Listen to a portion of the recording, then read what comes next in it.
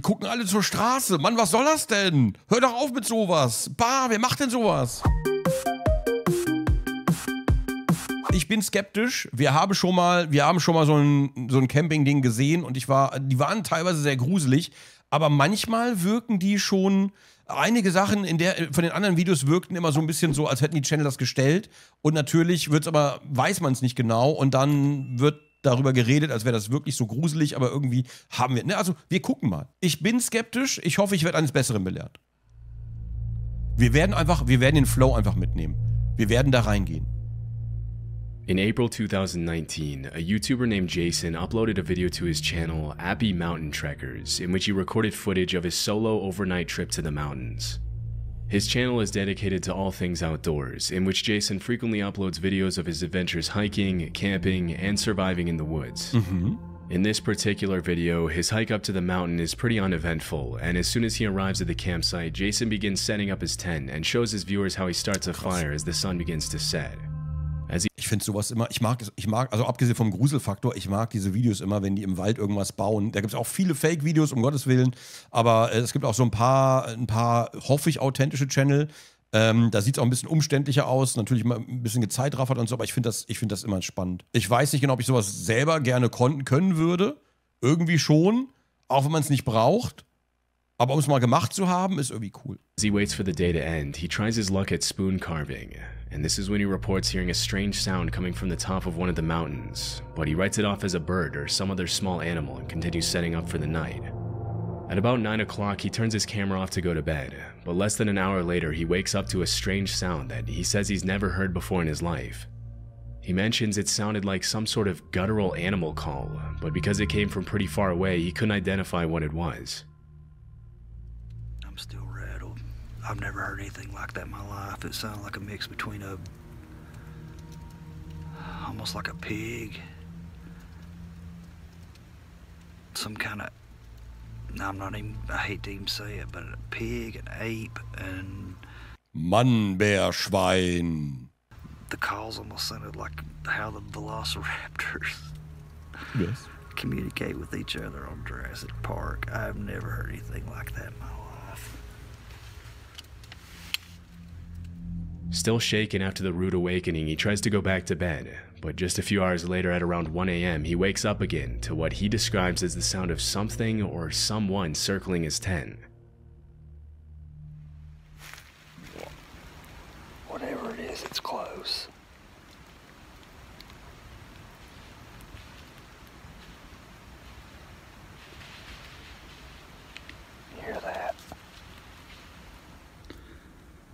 Whatever it is, it sounded like there was two or three of them, and it started. Da habt ihr die Augen gesehen, hier unten. Die, die Augen, hinterm Chat sind die Augen. Warte, ich mach den Chat mal kurz weg und dann, warte, dann gehe ich mal kurz ein bisschen zurück, warte. Warte, hier, die Augen.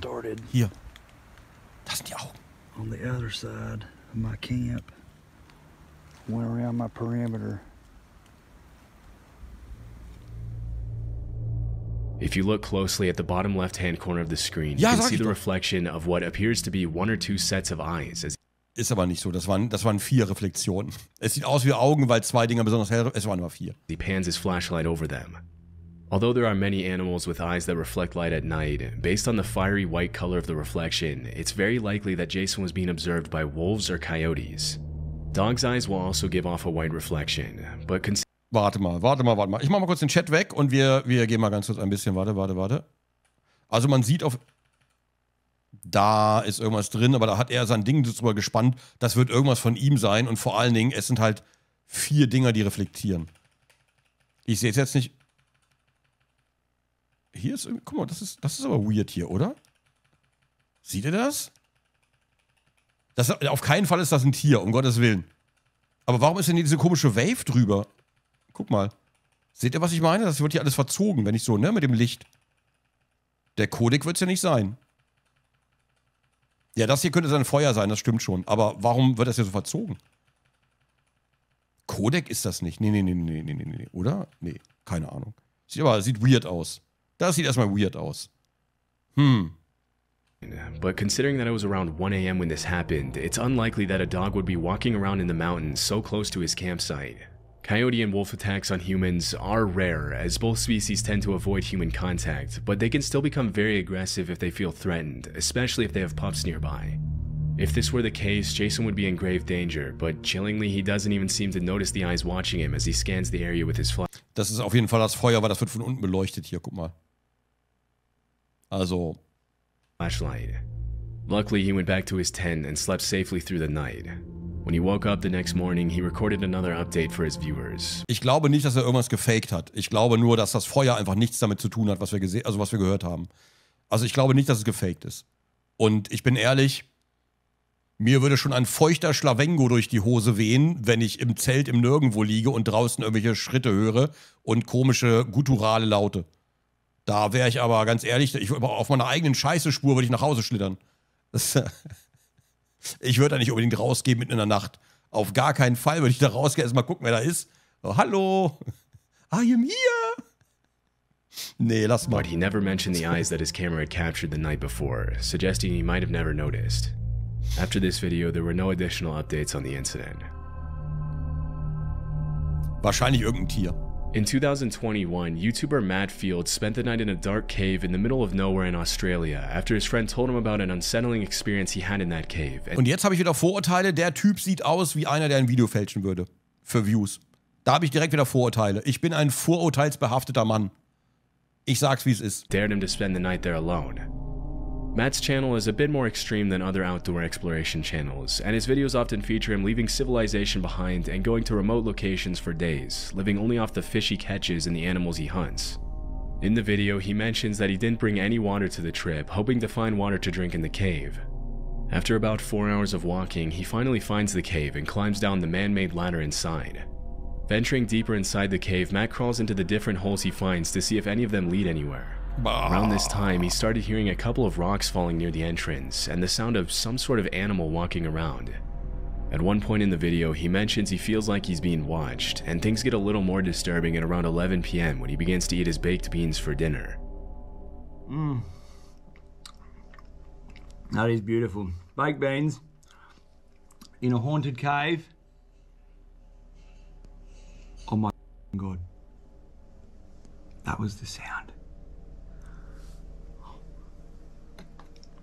That is the sound. Did you hear that? Habe ich Look gehört. at my look at my arms. I got full goosebumps. It's the chains moving when I climb down the ladder.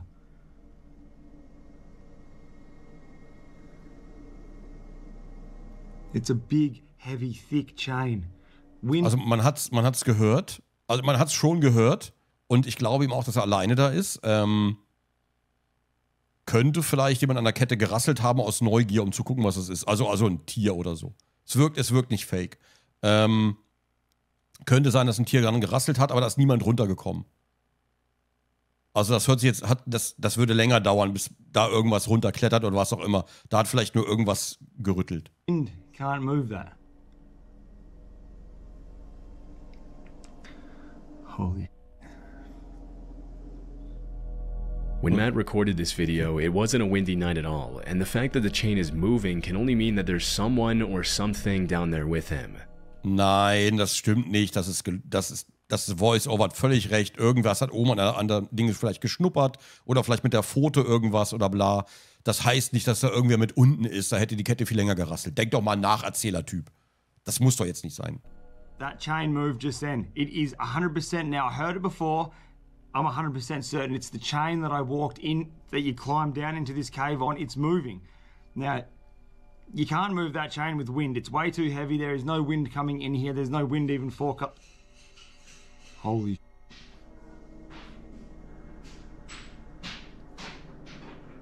Oh my god. Das waren Steine, das waren gerade Steine, die runtergeplöppt sind. You must have heard that just then. Look at my arms, dude. Das sind plötzlich Tattoos auf dem Arm. Oh, this is fucked. Okay. Well, I've got my backpack back on and I'm booting on out of here. I just heard a sound.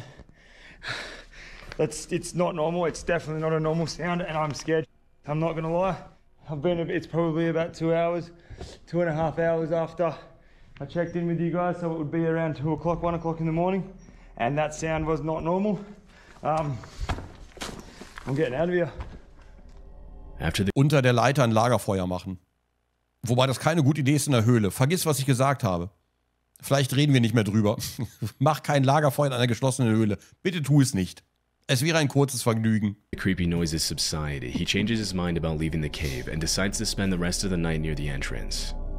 A couple of hours later, he reported hearing hissing sounds that sounded like human voices, but after walking around the cave, he couldn't find anything that could be making those noises. Aside from big animals, the worst thing that could have happened to Matt is to have come across a hostile squatter living in the cave. Es war ein Naga Monster Girl, das sie besucht hat. although it's unclear why anyone would want to live down there. Fortunately, he made his way out of the cave safely as soon as the sun rose, and never went back to that cave again. Okay, weird. Sehr weird. Roadie is a channel dedicated to off the grid living, in which the uploader usually posts videos about what life is like living out of his truck and traveling around the country. The videos are usually pretty cool, with an emphasis on the beauty of nature and independent living. But this particular video is a bit more disturbing than the rest. In um, December 2017, Roadie uploaded footage of an incident that took place earlier that year while he was um, car camping in a parking lot. At around 1:30 a.m., a hooded man started walking around his truck and taking pictures of his license plates. Because the back of the truck where the uploader was sleeping Der Anzeigenhauptmeister wahrscheinlich. was pretty much pitch black, the man probably didn't see anyone in there and continued to suspiciously walk around the truck for several minutes, unaware that he was being recorded. After a while, the man makes his way to the side of the truck and tries to shine the flashlight inside, which is when the uploader decides to take action to protect himself and let the man know he's there.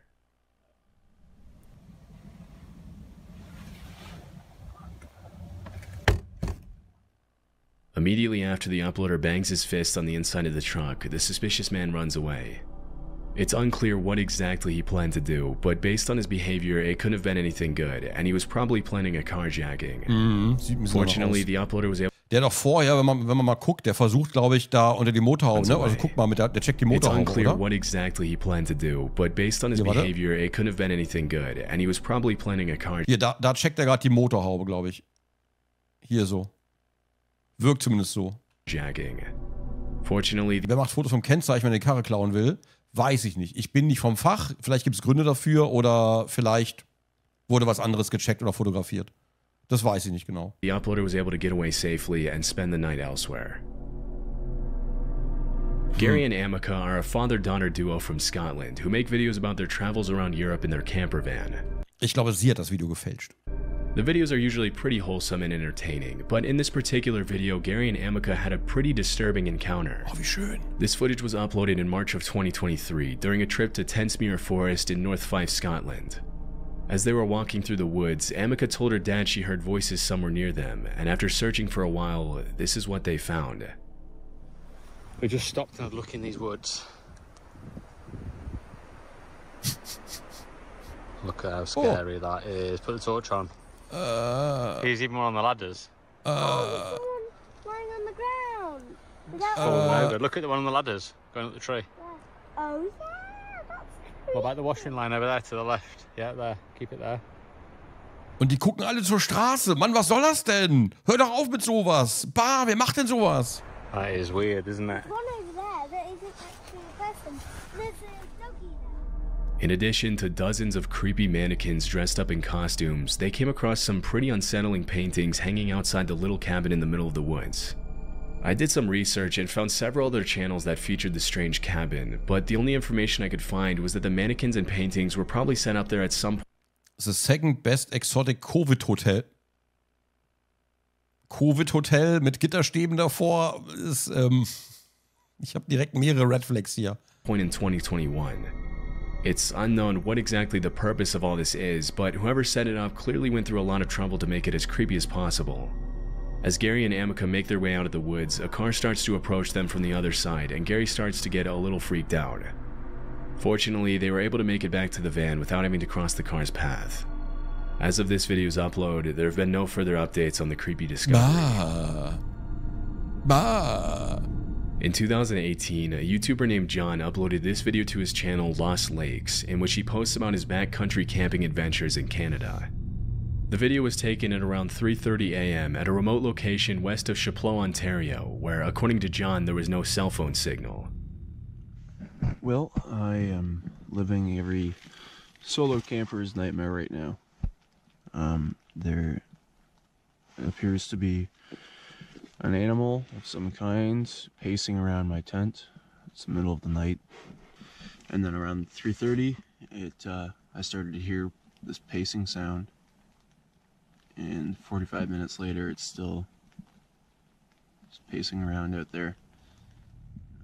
Considering he was camping in a remote location in the black bear capital of the world, it's very likely that there was a bear or some other large animal outside the tent. Oh. Although it's rare for bears to attack campers, it has been known to happen. Other animals such as moose or wildcats can also pose a threat to campers if they ever feel threatened or provoked, and in those cases, a feeble camping tent won't offer a lot of protection against an angry 600 pound animal. It's much more common for people to be harassed by other people than by animals, but in this case, the footsteps don't sound very human. To maintain sanity, John shows his viewers the things he brought along on his camping trip to protect himself against animals, which include a hatchet, bear spray, and an air horn. Near the end of the video, he mentions his car is right outside the tent, but he can't find his key and probably left it in the car. But in the end, he slept through the night safely. He never found out what exactly was walking around his tent that night. Most campers will say they're more afraid of running into ill intentioned people rather than aggressive animals on their camping trips, and this footage is the perfect example of why. Oh nein. Love Sundays is a channel run by a man named Sean who uploads videos of his solo camping adventures in the UK. Oh no. In a video he uploaded in September 2022, he shows what happened one night when he camped on the side of the road in Cornwall. Technically, he wasn't supposed to be camping there due to parking regulations, so he made every effort possible to make it seem less obvious that he would be spending the night on the side of the road. Before the sun sets, he goes into his van and starts making dinner, making as little noise as possible to avoid unwanted attention. Mm-hmm, mm-hmm. At around 9 p.m., he turns off the lights and goes to bed. Everything seems to be going just fine, but at around 2 a.m., Sean's night takes a pretty unsettling turn. Oh shit. Klopfen.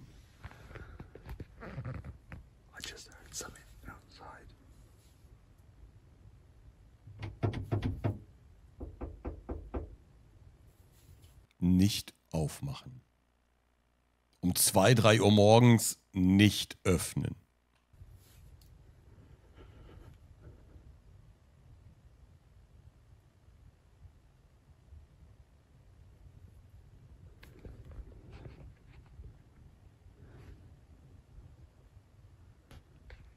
Die sehen wahrscheinlich, dass er Licht angemacht hat, ne? Die werden das hier auf jeden Fall in den Rändern sehen. Die werden sehen, dass er Licht angemacht hat. Zumindest, dass er wach ist. Werden die dadurch wissen. They literally tried to get in the van. Ja. Ja, ja. It wasn't just a knocking, they were trying the handle. It's not uncommon for solo campers to be asked to move somewhere else in the middle of the night, especially when you're parked somewhere where you're not supposed to be. But in this case, it's hmm. highly unlikely that this was a police officer or some other person with the authority to tell him to move, as in these cases, they would almost always knock first and announce themselves verbally. Once they have your attention, they'll ask you to leave, but they won't just walk up to a van on the side of the road and start trying the door handle without announcing their intentions. It's much more likely that someone was trying to break into Sean's van, Ja, klar. Luckily, whoever was trying to break in left after only a few seconds, and Sean wasn't bothered by them again. These kinds of encounters can be extremely disturbing, but luckily Sean woke up the next morning unharmed and was on his way to his next destination shortly after. Bist noch bei dem anderen Video, wo die einfach die Türen zu, äh, zugesperrt haben, wo die Türen irgendwie die Griffe verbunden haben, dass man nicht mehr rauskommt, nur an einer Seite zum Glück. Puh, genau, kein, wenigstens keine Kabelbinder drum gemacht. Genau, genau, genau. Daran musste ich gerade denken. Boah, uff. Und dann bist du einfach eingesperrt in deinem eigenen Van und kommst gar nicht mehr raus. Puh. Ah, okay, wir sind zum Glück schon am Ende.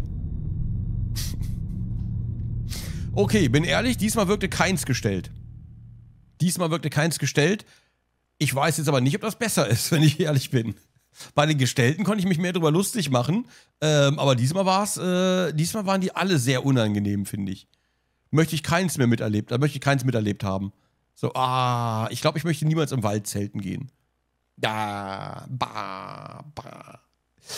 Ja, das waren die sechs meist verstörenden Camp äh, Campingerlebnisse. Also, das waren ein Part von sechs verstörenden. Es gibt mehrere sechs verstörende Campingerlebnisse. Welche die verstörendsten sind, müsst ihr selber herausfinden. Äh, wahrscheinlich im nächsten, beim nächsten Mal, wenn wir wieder so ein Video gucken. Ich glaube, ein paar haben wir noch vor uns. Aber jetzt erstmal vielen Dank fürs Zuschauen. Ich schicke euch einen Link raus. Lasst ein Like und ein Abo da. Lohnt sich bei dem Channel auf jeden Fall. Macht Spaß, den zu gucken. Ich habe momentan sehr viel Spaß daran. Vor allem, wenn es draußen dunkel ist und äh, so. Und das ist, äh, ne? Ja, vielen Dank fürs Zuschauen und ciao mit V. Tschüss.